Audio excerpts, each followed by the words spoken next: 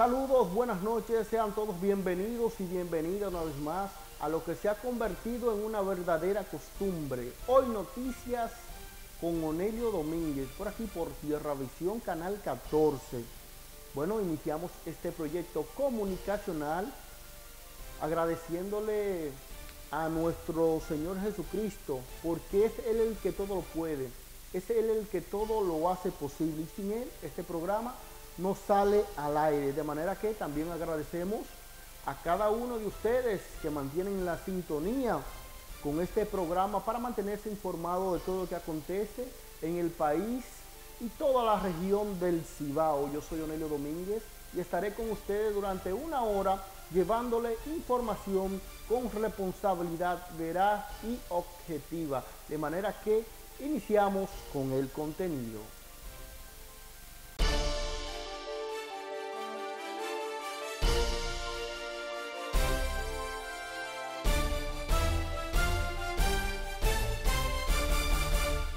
Bien amigos y amigas, me ausenté por un tiempo y era porque estaba en, una travesía por el gigante asiático, China, eh, donde le vamos a llevar todas las informaciones de ese recorrido, entrevistas, eh, algunos reportajes y nuestra impresión de, de ese país, un país que está en desarrollo, un país que tiene 1.300 millones de habitantes y que se ha propuesto que en el 2020 va a sacar 300 millones de chinos de la pobreza. Se dirán, pero ¿y cómo? Si en lo que queda de año, ¿sí? Los chinos se propusieron a sacar 300 millones de nacionales chinos de la pobreza. Algo impresionante que llama mucho la atención. El pasado año, República Dominicana y China comenzaron las negociaciones bilaterales. Producto a eso, eh, China ha invitado a diferentes organizaciones y esta vez les tocó a una comisión de 24 periodistas donde nos dimos cita a ese país a conocer su historia, su sistema político, el funcionamiento de los medios de comunicación, que es bastante diferente, y todos los museos, todas las rutas turísticas que conocimos allí. Agradecemos antemano al embajador de la República Popular China que tuvo la gentileza de invitarnos.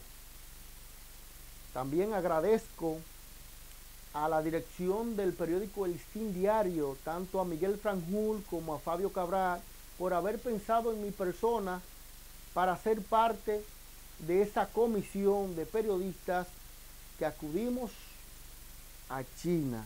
Vamos a presentarles algunos reportajes que le hemos preparado. Bueno, seguimos con el contenido de hoy noticias. Como le había comentado al inicio del programa, eh, vamos a presentarle eh, un reportaje especial que nos realizó nuestro amigo y compañero que fue parte de, la comisión de periodistas que acudimos a China, Rafael Lara, compañero y amigo de, del canal 37 CDN en Santo Domingo. La verdad es que eh, agradezco ese gesto que tuvo Rafael de, formar parte de este proyecto comunicacional. Vamos a conocer este reportaje que habla sobre algunos detalles de la ciudad de Beijing en China. Vamos a ver.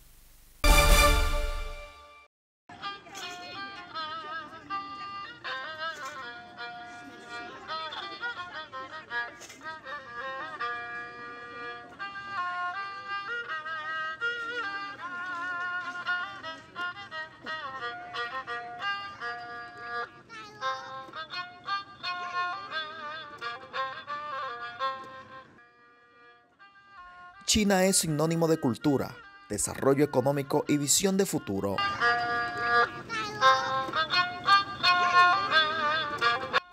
Aunque tiene una vida republicana bastante joven, su progreso social y político sorprende a quienes por primera vez conocen sus particularidades. Ha logrado sacar en, las últimas décadas 800, más de 800 millones de gente de la pobreza y se plantea para el 2020 eh, eliminar la pobreza. El sistema político en que está organizado es el socialismo, pero con ajustes y características del gigante asiático. El llamado socialismo con características chinas eh, funciona, que le está dando resultados a este gigante asiático y se evidencia en, en diferentes aspectos, tanto de la economía, en lo cultural, en, lo, en el término de las infraestructuras, en fin. De modo que, a nuestro juicio, esos modelos que hasta ahora uno tenía, esa idea que, tenía mucha, que tiene mucha gente en nuestros países sobre el, el fracaso del socialismo, no tiene nada que ver con la experiencia china. Los postulados del socialismo chino promueven la producción de riquezas, aunque no solo para ellos, sino que buscan aliados en todas partes del mundo. Con el liderazgo de dirigentes del Partido Comunista como Mao Zedong, Deng Xiaoping y ahora en esta nueva era el presidente Xi Jinping han logrado impulsar la economía del país de modo que el desarrollo del aparato productivo, que es uno de los fundamentos, eh, como plantea el marxismo, es decir, no puede haber un socialismo desarrollado si tú no tienes un, determinado desarrollo, un determinado crecimiento, un determinado desarrollo de la fuerza productiva y creo que los chinos lo han logrado. China no solo promueve la producción económica, también hace grandes inversiones en el arte y la cultura. Es un país que valora mucho su cultura y por eso pues aprovecha las diferentes expresiones culturales para garantizarla. Eh, sabemos que una de sus principales eh, manifestaciones es la ópera de Pekín, que data del siglo XIX y es una especie de teatro eh, musical. También está el Gran Museo de Arte Chino, que alberga 21 salas de exposiciones en 35 mil metros cuadrados de artistas locales e internacionales en diferentes expresiones como pintura al óleo, caricatura y otras manifestaciones también. Los medios de comunicación como la radio, televisión, prensa escrita y digital, todos bajo el estricto control del gobierno, son utilizados para promover el desarrollo social y las operaciones económicas. Asimismo, la tecnología también es aprovechada para garantizar que ese aspecto cultural se siga expandiendo por todo el mundo, pues varias empresas se han dedicado a recopilar la historia de la cultura china a través de muchos años para proyectarlas a través de series y películas, no solo aquí en este país, sino en varias regiones del mundo. La República Popular China tiene un desarrollo arquitectónico admirable. Sobresalen sus grandes edificaciones y sus atractivos diseños.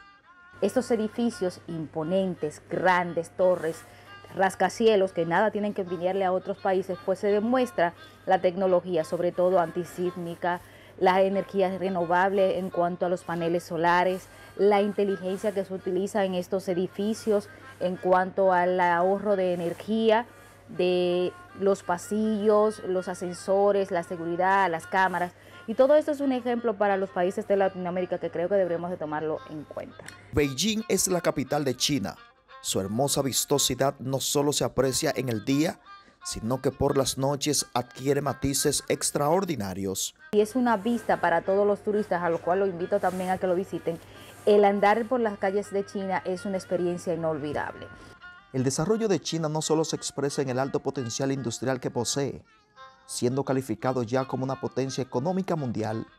Con un nihao, que significa hola en mandarín, una cara sonriente y un gesto afable, esas son las cartas de presentaciones que tienen los ciudadanos chinos con los extranjeros para recibirlos en esta gran ciudad de Beijing, capital de la República Popular China. El respeto, la calidez y la humildad de su gente es también evidencia de progreso y desarrollo. La amabilidad de los chinos se percibe desde que uno recorre estas grandes avenidas eh, donde ellos mismos se ponen a disposición del que camina o el transeúnte o el ciudadano que viene de otro país a conocer. invito a todos a todos los dominicanos a que vengan a esta gran ciudad para que conozcan de la humildad y de la solidaridad de los chinos. La seguridad ciudadana es una característica de la República Popular China, donde se habla de cero delincuencia. Las autoridades en ciudades como Beijing y Xianhan utilizan un método persuasivo a través de cámaras de vigilancia que integran la tecnología del reconocimiento facial ya sea en estaciones de transporte público como el metro, autobuses, aeropuertos, comercios, plazas.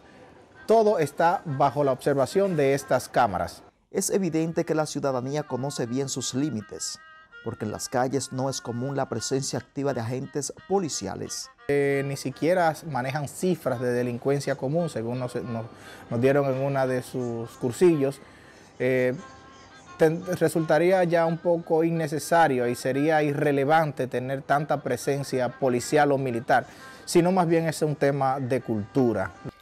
El desarrollo de China hace pensar que no importa el sistema político tradicional que adopte un país, si su prioridad es el crecimiento integral de su gente, donde las riquezas se distribuyan de manera equitativa.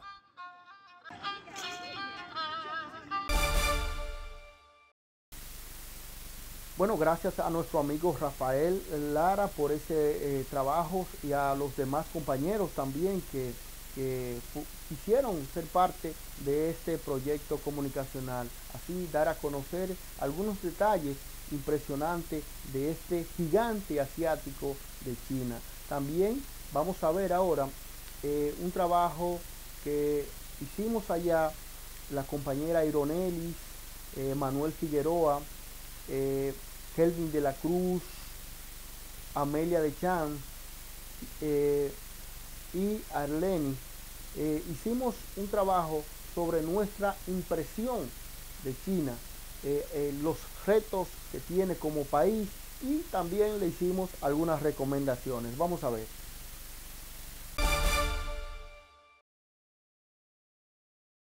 Hola a todos, es un placer saludarles en nombre de nuestro grupo conformado por el conjunto de periodistas dominicanos Kelvin de la Cruz, Angelis Isa e Ironelis García de Telenoticias en Telesistema Canal 11 y los periodistas Manuel Figueroa y Onelio Domínguez del periódico Listín Diario. Y quien les habla, la periodista Amelia de Champs del programa El Día de Telesistema Canal 11. Hablar de nuestra impresión sobre China en tan solo 10 minutos es un gran reto, por lo que nos hemos propuesto dividir nuestra presentación en dos fases. La primera, nuestra impresión sobre China a partir de lo que hemos visto en esta visita, y en segundo lugar, eh, los desafíos que se le presentan a este país en materia de turismo, de información y comunicación a partir de las relaciones que han entablado con naciones como la nuestra. Iniciamos con nuestros compañeros Kelvin de la Cruz y Angelis Isa. Gracias Amelia. Para conocer la China de hoy debemos mirar al pasado y conocer la China de antes. Este país hoy está conmemorando el 70 aniversario de la creación de la República Popular China, siendo su gran líder Mao Zedong. Tuvimos la oportunidad de visitar la Gran Muralla China, uno de sus grandes monumentos, y es la obra más grande construida por el hombre.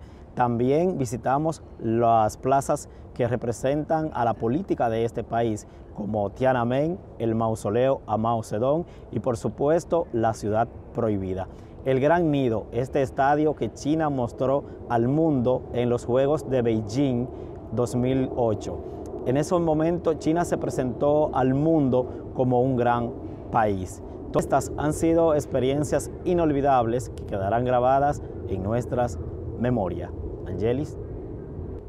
Así es, Kelvin, pero también queremos destacar la variedad de su gastronomía, la amabilidad de su gente y el respeto y cuidado que muestran por sus monumentos y personajes históricos, que su legado sirva como ejemplo a sus nuevas generaciones.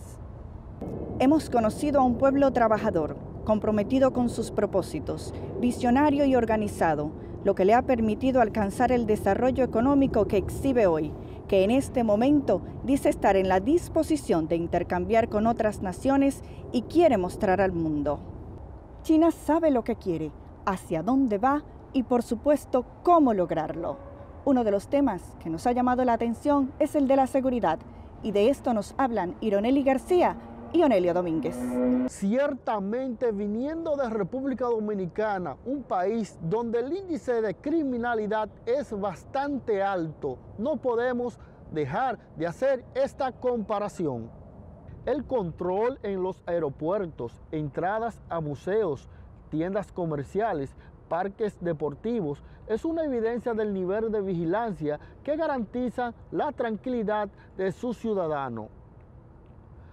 Llama la atención ver cómo el uso de cámaras de seguridad con reconocimiento facial, patrullaje policial y el régimen de consecuencias parecerían ser los ejes fundamentales de este sistema. Ahora paso contigo, Ironelli. Sin embargo, habría que determinar hasta dónde este nivel de información que poseen las autoridades sobre los ciudadanos podría convertirse en un dilema.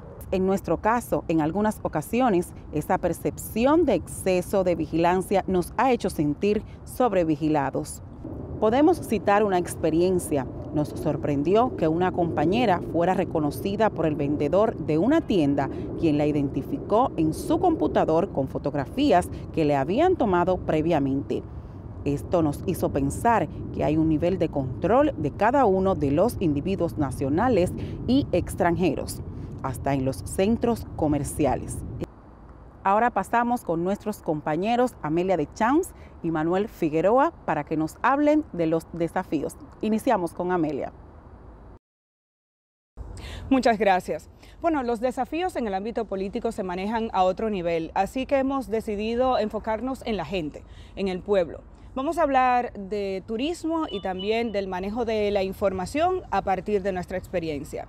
Y es que China está decidida a abrirse al mundo, pero en estos ámbitos parecería que no ha preparado su plataforma de manera adecuada y efectiva para recibirlo, de la misma forma en que deben hacerlo nuestros países para recibir a China. Da la impresión de que ha abierto la puerta sin estar totalmente lista. La barrera del idioma y la información limitada representan grandes desafíos y no podemos conocerte si no te das a conocer. En términos de infraestructura turística, el principal desafío de China está en preparar su país y a su gente para recibir a los turistas del mundo. Hoteles, restaurantes, museos y zonas que resultan de gran atractivo turístico deben contar con un personal que hable por lo menos dos idiomas. Si no más, eso genera confianza y tranquilidad, incluso podría animar al turista a conocer más. Por otro lado está la limitación de la información. La información limitada genera escepticismo es mucho lo que no se dice. Si bien es cierto que sabemos que el modelo político de este país es distinto, entendemos que debe defenderse aquello en lo que se cree y utilizar los argumentos que se crean pertinentes para convencer a los demás sobre nuestro punto de vista. Y a veces las respuestas limitadas no satisfacen las expectativas de quienes realmente quieren saber cómo se piensa o cómo se actúa y por qué. Y precisamente como periodistas no podemos dejar de tomar en cuenta el desafío que representa para China los nuevos medios digitales y la convergencia de medios a la luz de este contexto. Nuestro compañero Manuel Figueroa habla del tema. Gracias, Amelia. El nuevo modelo económico que impulsa la República Popular China con los demás países de América Latina y el Caribe, incluyendo a otros países del mundo, tiene por delante también el desafío de garantizar una cobertura recíproca de información y relación entre sus medios de comunicación. El socialismo con característica china nos muestra que la maquinaria que genera la riqueza y garantiza el bienestar de la población camina junto a una estructura de medios de comunicación como la radio, la televisión y la prensa escrita. Pero el surgimiento de las nuevas tecnologías de la información y la comunicación vinculadas al Internet, los medios digitales y las redes sociales con millones de jóvenes usuarios ha obligado a buscar puntos de convergencia para garantizar la sobrevivencia de los medios de comunicación convencionales.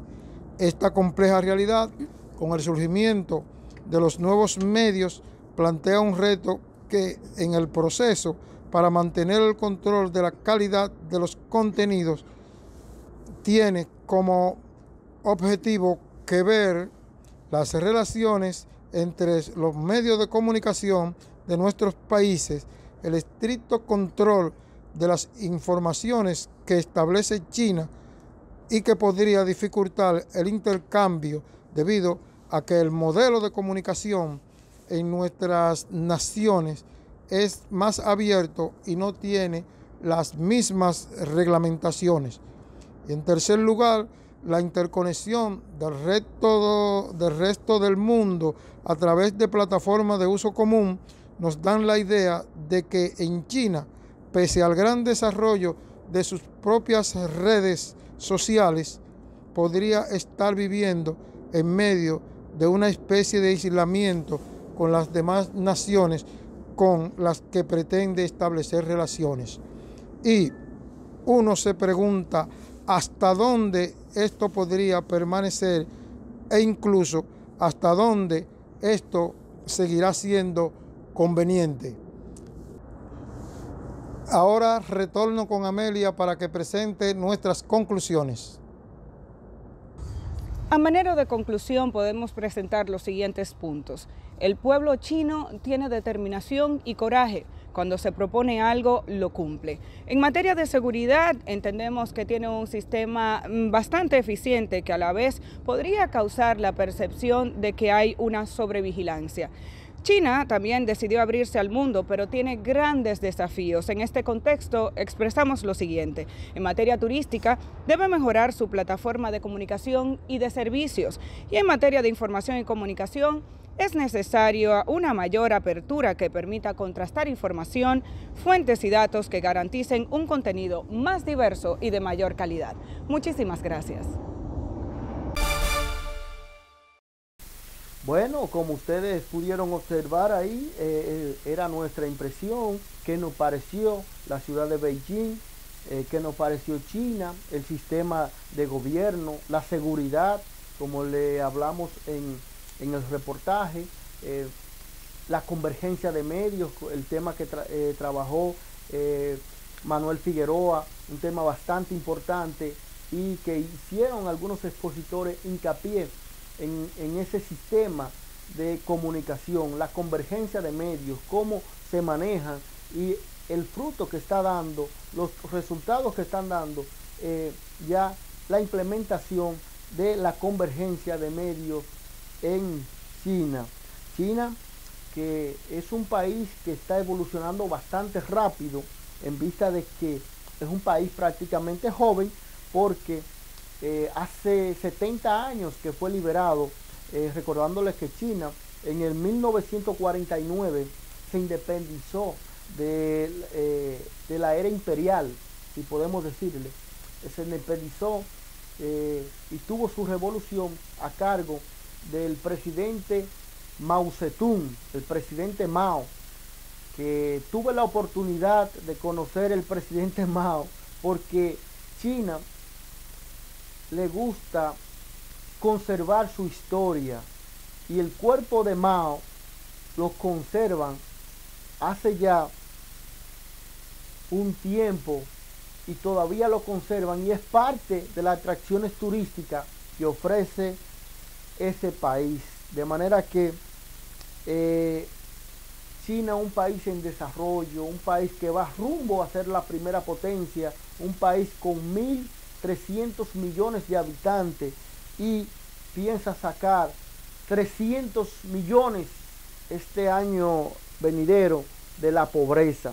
Están preparándose para, para abrirse al mundo, eh, como dicen algunos expositores, que China se está abriendo al mundo y una muestra es de las negociaciones que se hicieron ya con, con este país el pasado año.